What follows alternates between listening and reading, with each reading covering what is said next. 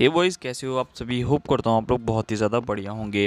Honda ने अपनी C B X two hundred को लॉन्च कर दिया है इंडियन मार्केट के अंदर। जैसा आप सभी जानते होंगे कि ये एक हॉर्नेट पे बेस्ड एक एडवेंचर सीरीज़ की बाइक रहने वाली है बट ये एक 200 सीसी की बाइक है और मेरे पास काफ़ी लोग मुझसे कमेंट करके बोल रहे थे कि भाई एक्सपल्स 200 की जो ये राइवल आई है, क्या ये एक्सपल्स 200 से ज़्यादा बेटर है या फिर हमें एक्सपल्स 200 लेनी चाहिए या फिर हॉर्नेट लेनी चाहिए? तो आज मैं आप लोगों को सारी के सारी डिटेल्स में बताने वाला हूँ कि कौन सी बाइक आप लोगों के लिए कितनी ज़्यादा बेहतरीन साबित रहेगी, क्योंकि आप लोग भी जानते हो कि जो हॉर्नेट है, उसने अभी अपना प्रोडक्ट लॉन्च किया है और जो एक्सपल्स है, वो काफ़ी टाइम से इंडियन मार्केट के अंदर आ रही है और उसकी भी सेल्स फिगर काफ़ी अच्छी होती हैं। तो चलिए वीडियो स्टार्ट करते हैं। अगर आप लोगों को कोई भी ऐसी चीज़ रह जाए, ऐसी कोई डिटेल मैं ना दे पाऊँ तो आप मेरे से इंस्टाग्राम पर डीएम करके पूछ सकते हैं या फिर कमेंट सेक्शन में भी पूछेंगे तो मैं पूरी कोशिश करूँगा कि मैं आप लोगों के कमेंट का जवाब दे दूँ। तो चलिए वीडियो स्टार्ट करते हैं। सबसे पहले यहाँ पर हम बात करते हैं दोनों ही बाइक्स के लुक्स और डिज़ाइन के बारे में। तो भाई लुक्स और डिज़ाइन के अगर बारे में मैं बात करूँ तो भाई ये आप लोगों की अपनी पसंद हो सकती है। हो सकता है किसी को एक्सपल्स ज़्यादा पसंद हो हो सकता है किसी को जो एन एक्स है वो ज़्यादा पसंद हो।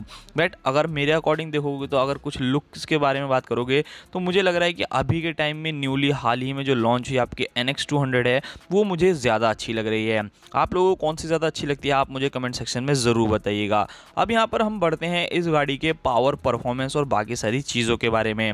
यहाँ पर सबसे पहले अगर आप लोग एक्सपल्स 200 को देखने वाले हो तो यहाँ पर आपको एक 200 सीसी का single cylinder oil cooled engine देखने को मिल जाता है, जो कि 17.8 bhp का मैक्सिमम पावर 8500 आरपीएम पे जनरेट करेगा और 16.4 न्यूटन मीटर का टॉर्क आप लोगों को 6500 आरपीएम पे मिलेगा। वहीं अगर आप लोग जाते हो एन एक्स की तरफ़ तो यहाँ पर भी आप लोगों को लिक्विड कूल या फिर आप लोगों का ऑयल कूल यहाँ पर नहीं मिलता है एन एक्स में। ये एक जस्ट अ सिंपल इंजन है जो कि एक एयर कूल्ड इंजन है जो 184 सीसी का इंजन रहने वाला है। यहाँ पर अगर एक्सपल से थोड़ा मैं कंपैरिजन करूँ तो आपको इसमें भी 17 bhp मिलता है बट वहीं अगर आप लोग कंपैरिजन करोगे एक्सपल्स 200 से तो वहाँ पर आपको 0.8 bhp ज़्यादा देखने को मिल जाती है। 16.1 न्यूटन मीटर का टॉर्क आप लोगों को एन एक्स में देखने को मिलता है। यहाँ पर अगर हम एकदम एक्जैक्टली पावर फिगर्स के बारे में बात करूँ तो कहीं ना कहीं एक्सपल्स 200 आगे है आप लोगों के पावर फिगर्स के बारे में अगर बात करी जाए। नेक्स्ट चीज़ के बारे में बात करते हैं। दोनों ही बाइक्स में आप लोगों को फाइव स्पीड का ट्रांसमिशन देखने को मिल जाता है तो यहाँ पर कोई दिक्कत वाली बात नहीं है। नेक्स्ट चीज़ों के बारे में बात करें, दोनों ही बाइकों में आप लोगों को फ्यूल इंजेक्शन सिस्टम देखने को मिलता है। अगर आप लोग एक्सपल्स को देखोगे तो यहाँ पर आपको थर्टीन लीटर का फ्यूल टैंक देखने को मिलता है। बट वहीं अगर आप हॉर्नेट को देखेंगे तो आपको आप लोगों को ट्वेल्व लीटर का फ्यूल टैंक देखने को मिल जाता है। नेक्स्ट चीज़ के बारे में बात करते हैं माइलेज की। दोनों ही बाइक्स में माइलेज किसका ज़्यादा बेटर रहने वाला है? तो भाई दोनों ही बाइक्स आपको अच्छा खासा एवरेज निकाल के दे देंगी। लगभग आप लोगों को पैंतीस से चालीस ईजिली आप लोगों को मिल जाएगा। इवन अगर आप हाईवे पर क्रूजिंग करेंगे तो और भी ज़्यादा दे सकती है। यहाँ पर मैं सबसे पहले आप लोगों को बता दूँ कि एक्सपल्स किन लोगों को लेना चाहिए और हॉर्नेट किस लोगों को लेना चाहिए। देखो, अगर आप लोगों को टू हंड्रेड की कोई ऑफ़ बाइक चाहिए और एक्सट्रीम लेवल की ऑफ़ करनी है एक बजट या फिर एक एंट्री लेवल बाइक लेनी है जो कि ऑफ़ रोडिंग की उस्ताद हो। एक्सपल्स आप कभी भी ले सकते हो आँख बंद करके ले सकते हो क्योंकि जो इसकी हाई ग्राउंड क्लियरेंस मिल जाती है टायर साइज़ ज़्यादा बड़ा मिल जाता है और भी बहुत सारी चीज़ें हैं जो आपको बेटर मिल जाती है हॉर्नेट से।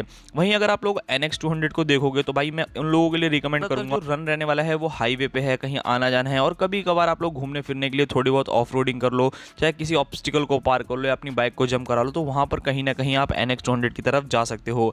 बट वहीं पर मैं एक चीज़ और बताना चाहूँगा। यहाँ पर अगर आप प्राइस पॉइंट देखोगे तो वहाँ पर भी काफ़ी ज़्यादा डिफरेंस देखने को मिलेगा। जैसे कि मैंने आप लोगों को बताया यहाँ पर अगर आप लोग देखोगे एक्सपल्स 200 को तो जो एक्सपल्स 200 का प्राइस रहने वाला है वो एक लाख बीस हज़ार के आसपास में रहेगा।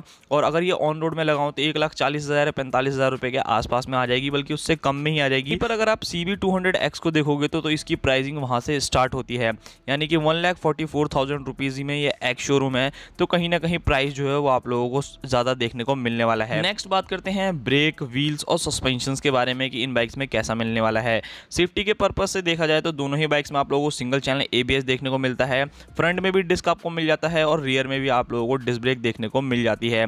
नेक्स्ट यहाँ पर अगर आप लोग देखोगे तो यहाँ पर आप लोगों को बाइक के अंदर यानी जो एक्सपोस 200 है, उसके अंदर स्पोक व्हील्स देखने को मिलते हैं बट वहीं अगर आप लोग सी बी की तरफ़ जाएँगे तो वहाँ पर आपको ऑलोई व्हील्स देखने को मिलते हैं। टायर साइज़ के बारे में बात करें तो ट्वेंटी इंचज़ के आपको फ्रंट में टायर देखने को मिलते हैं एटीन इंचज़ के आप लोगों को रियर में टायर देखने को मिलते हैं एक्सपल्स के अंदर। जिनका सेक्शन के बारे में बात करें तो ninety by ninety twenty one और रियर का जो टायर है वो one twenty by eighty eighteen inches के आप लोगों को टायर मिल जाते हैं जो कि थोड़े पतले लगेंगे देखने में। बट वहीं अगर वहीं अगर आप लोग सी बी की तरफ़ आएँगे तो यहाँ पर आप लोगों को सेवनटीन इंचज़ के अलॉयवील्स दोनों ही में देखने को मिलेंगे।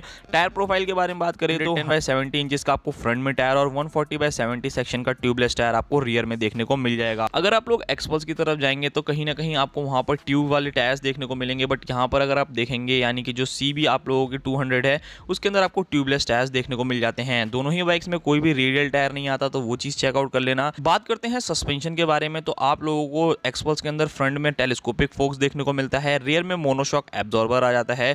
वहीं अगर आप लोग हॉर्नेट में देखोगे तो आप लोगों को गोल्डन कलर के यूएसडी फोक्स मिल जाते हैं और रियर में मोनोशॉक एब्जॉर्बर जो कि काफ़ी ज़्यादा बढ़िया है। अब यहाँ पर थोड़ा बहुत बात करते हैं वेट के बारे में तो जो एक्सपर्स रहने वाली है, वो आपको 157 केजी के आसपास में देखने को मिलेगी। तो भाई नॉर्मली अगर आप बाइक को चलाओगे या फिर बैठोगे तो अब आपको फ़र्क नहीं पता चलेगा वज़न का लेकिन हाँ यहाँ परफॉर्मेंस में कहीं ना कहीं आप लोगों को फ़र्क देखने को मिल सकता है। यहाँ पर बात करते हैं ग्राउंड क्लियरेंस के बारे में तो एक्सपर्स के अंदर टू ट्वेंटी mm की आपको ग्राउंड क्लियरेंस देखने को मिलती है। आप सी बी में देखोगे तो आपको वन सिक्सटी mm देखने को मिलती है ग्राउंड क्लियरेंस जो कि कम है। एट ट्वेंटी थ्री mm की आप लोगों को सीट हाइट देखने को मिल जाती है। टेन एम की आप लोगों को सीट हाइट देखने को मिल जाती है आपकी सी बी थ्री हंड्रेड के अंदर। तो गाइज़ यहाँ पर आप लोग ये सारी चीज़ें कंपेरिजन कर सकते हो। बात करें अगर हम लोग यहाँ पर डिजिटल कंसोल की तो दोनों ही बाइक्स में आप लोगों को फुली डिजिटल कंसोल देखने को मिल जाता है। डी आप लोगों को देखने को मिल जाते हैं। यहाँ पर बाकी जितनी भी इन्फॉर्मेशन है वो सारी की सारी डिजिटली आप लोगों को देखने को मिलती है दोनों ही बाइक्स में। नेक्स्ट चीज़ के बारे में हम लोग बात करते हैं। यहाँ पर कलर कॉम्बिनेशन के बारे में बात कर लेते हैं। तो अगर आप लोग एक्सपर्स टू की तरफ़ जाएँगे तो आपको लगभग कम से कम पाँच कलर ऑप्शन देखने को मिलेंगे। वहीं अगर आप लोग हॉर्नेट की तरफ़ आएँगे तो आप लोगों को सिर्फ़ और सिर्फ़ तीन ही कलर कॉम्बिनेशन देखने को मिलेंगे। बाकी आप लोगों को क्या लगता है कि जो हॉर्नेट है वो कैसी बाइक रहने वाली है? क्योंकि यहाँ पर अगर आप लोग सेटअप देखोगे, जैसे कि अगर आप लोगों को ऑल फीचर्स में देखोगे तो ऑल एलईडी सेटअप आपको मिलता है। वहीं अगर आप एक्सवर्स में जाएँगे तो आपको जो इंडिकेटर्स हैं, वो हेलोजन देखने को मिलते हैं, जो कि एक ड्रॉबैक है। बट कुछ चीज़ों में एक्सवर्स ज़्यादा बेटर है, और कुछ चीज़ों में जो आपकी सी बी है, वो काफ़ी ज़्यादा बेटर रहने वाली है। तो आप लोगों को क्या लगता है कि अगर आप लोगों को इन दोनों में से किसी एक बाइक को चूज़ करना हो तो आप किस बाइक की तरफ़ जाएँगे और क्यों जाएँगे, आप मुझे कमेंट सेक्शन में ज़रूर बताना। गाइज़ यहाँ पर मैं आप लोगों को एक और चीज़ बता दूँ। अगर आप एक्सपर्स टू लेना चाहते हैं तो यहाँ पर कहीं ना कहीं आपको यहाँ पर कहीं ना कहीं आप लोगों को हाइट का इशू हो सकता है क्योंकि अगर आप लोगों की हाइट 5.4 है या फिर उससे कम है तो आप लोगों को काफ़ी मुश्किल हो जाएगी एक्सपर्स 200 को चलाने में। वहीं अगर मैं बात अगर मैं बात करूँ सी बी के बारे में तो ये कहीं ना कहीं काफ़ी ज़्यादा लो रहने वाली है। बहुत ज़्यादा नहीं कहूँगा लेकिन फिर भी अगर आप लोगों की हाइट फाइव है फाइव भी है या फिर उससे थोड़ी सी भी कम होगी तो शायद आप लोग इस बाइक को ईजिली चला लोगे।